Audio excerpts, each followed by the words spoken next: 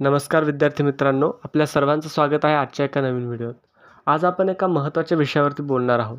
M S बी टीचे students जे असतात ते नेहमीच एक कॉमन प्रॉब्लेमला फेस करतात. ती गोष्ट असते म्हणजे कॉपी केसची आणि सगळ्यात महत्त्वाचं म्हणजे काही काही केसेसमध्ये असं सुद्धा झालेलं आहे की काही निर्देश मुलंसुद्धा मास कॉपीच्या नावाखाली फसलेले आहेत. तर जर तुम्ही पण कॉपी केसच्या याच्यात अडकले असाल किंवा कॉपी केस जर तुमच्यावर पण झाली असेल तर नेमकं पुढं काय काय होऊ शकतं? किंवा कॉपी केसमध्ये नेमकी काय परिस्थिती असते? कोणत्या ज्या गोष्टी असतात कॉपी केसच्या अंडर येतात आणि कॉपी केस झाल्यावर नेमकी काय काय कारवाई होत असते? आणि त्यातल्या त्यात अजून एक महत्त्वाचं म्हणजे कॉपी केसमध्ये जर तुमचं काही स्टफ जर बोर्डाकडून जप्त झाला असेल म्हणजे तुमच्याकडे जर मोबाईल असेल किंवा कॅल्सी असेल किंवा काही इलेक्ट्रॉनिक गॅजेट असेल ते जर बोर्डाकडून किंवा तुमच्या टीचर्सकडून किंवा स्क्वाडकडून जर जप्त झालं असेल तर त्याचं नेमकं काय होत असतं? या सगळ्या प्रश्नांची उत्तरं देण्यासाठी म्हणून आजचा हा व्हिडिओ बनवत आहे. तर व्हिडिओमध्ये तुम्ही शेवटपर्यंत राहा. जर चॅनलवरती नवीन असाल तर सबस्क्राईब करायला विसरू नका. अगोदर पाहूयात की कॉपी केसच्या बाबत नेमके एम एस बी टीचे काय काय रूल्स आहे? तर याचं एक डिटेल माहिती आपल्याला एक्झाम रूल्स अँड रेग्युलेशन या एम एस बी टीच्या पुस्तकामध्ये आढळून येतं. त्याच्यामध्ये त्यांनी स्पष्ट सांगितलं आहे की पाक जी कॉपी असते ती तीन प्रकारे केल्या जाऊ शकते. एक तर जर कोणी पेपर हॅक्स करण्याचा प्रयत्न केला किंवा पेपर लीक करण्याचा प्रयत्न केला तर तीसुद्धा एक कॉपी केस समजल्या जाते.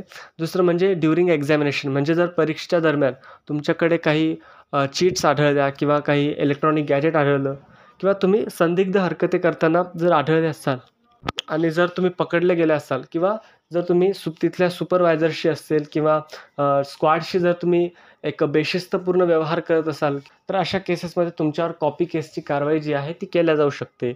तर या दरम्यान याला आपण कॉ परीक्षेच्या दरम्यान केल्या गेलेली कॉपी केस आणि तिसरी कॉपी केस म्हणजे आफ्टर एक्झाम म्हणजे असं नसतं की तुम्ही परीक्षेच्या दरम्यानच कॉपी केसमध्ये पकडल्या जाऊ शकतात. बऱ्याच केसेसमध्ये काय झालं की जर पेपर चेक करताना पेपर तपासणाऱ्याला असं वाटलं की हा जो मुलगा आहे त्याने डिट्टो एखाद्या पुस्तकातून कॉपी करून लिहिलेला आहे किंवा सामूहिक कॉपी झालेली आहे. म्हणजे चार पाच मुलांचे उत्तर अगदी सेम आलेले आहेत. तर अशा केसेसमध्ये तुमच्यावर मास कॉपी होते किंवा बल्क कॉपी होते? तर बल्क कॉपीविषयी मी डिटेल माहिती आपल्या एका पेपर चेकिंगच्या व्हिडिओमध्ये दिलेली आहे. तुम्ही तो व्हिडिओ बघितला नसेल तर वरती आय बटनवर क्लिक करून बघू शकता.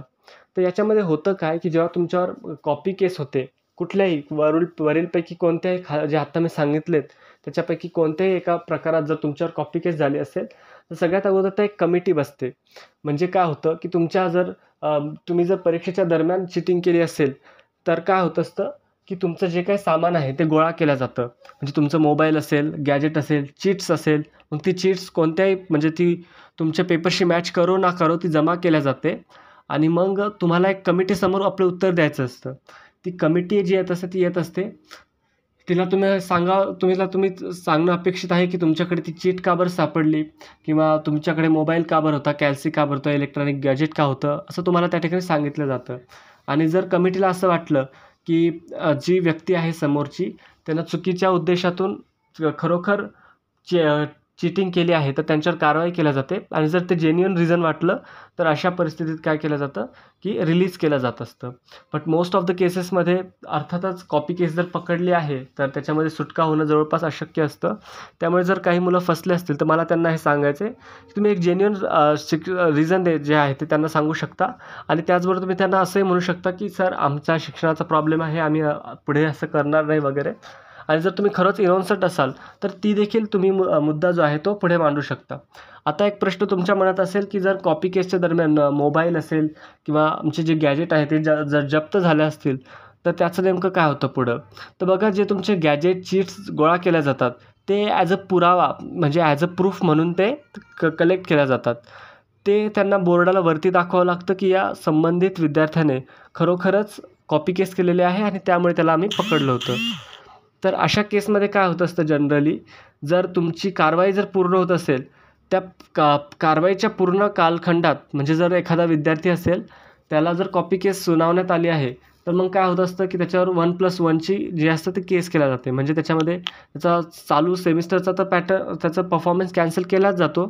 पण पुढच्या सेमिस्टरचा जो परफॉर्मन्स आहे तो सुद्धा त्याला कॅन्सल केला जातो. म्हणजे त्याला पुढच्या सेमिस्टरचे पेपर देता येत नाही. तर त्या शिक्षेच्या टाईममध्ये तुम्हाला तो मोबाईल किंवा गॅजेट हे भेटणं जवळपास अशक्य असतं. बट ह्या हा ड्युरेशन झाल्याच्यानंतर पण जर तुम्हाला तुमचं इलेक्ट्रॉनिक गॅजेट जर मिळत नसेल तर तुम्ही तसं एक स्वतंत्र application M S B T बोर्डाला करू शकता आणि त्याच्यामध्ये तुम्ही सांगू शकता. जर तरीही बोर्ड तुमचं ऐकत नसेल तर तुम्ही या संदर्भात कायदेशीर कारवाई देखील करू शकता. तर हे झालं कारवाईच्या बाबतीत. आता बघ बोलूयात की मास कॉपीच्या बाबत नेमका काय सीन असतो?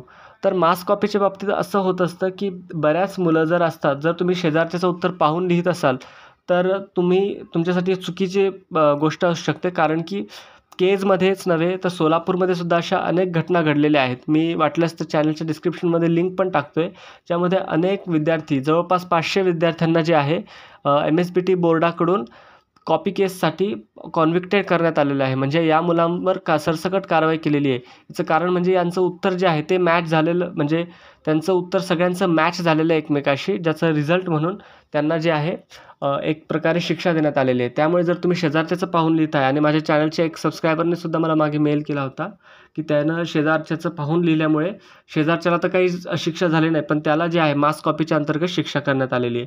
तर तुम्ही जर आपल्या शेजारच्याला पेपर दाखवत असाल तर खबरदार त्याला तुम्ही पेपर दाखवू नका कारण यामुळे तुमच्यावर मास कॉपी देखील होऊ शकते. तर एक गोष्ट तुम्ही लक्षात घेतली पाहिजे. जर तुम्ही असा विचार करत असाल की मी आता पेपरमधून सुटलो आहे पेपर चांगला लिहिला आहे मला पकडलं नाही आहे तर याचा अर्थ असा नाही की तुम्ही कॉपी केसच्या जे लटकती तलवार आहे त्याच्यापासून मुक्त झालात.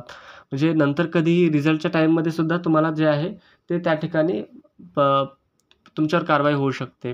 तर आय होप तुम्हाला हा व्हिडिओ आवडला असेल. व्हिडिओ जर चांगला वाटला असेल तर आपल्या मित्रांसोबत शेअर करा. चॅनलवरती जर नवीन असाल तर सबस्क्राईब करायला विसरू नका. आणि बेल आयकॉनला देखील प्रेस करा जेणेकरून अशाच माहिती तुम्हाला भेटत राहतील. तर thanks for watching this video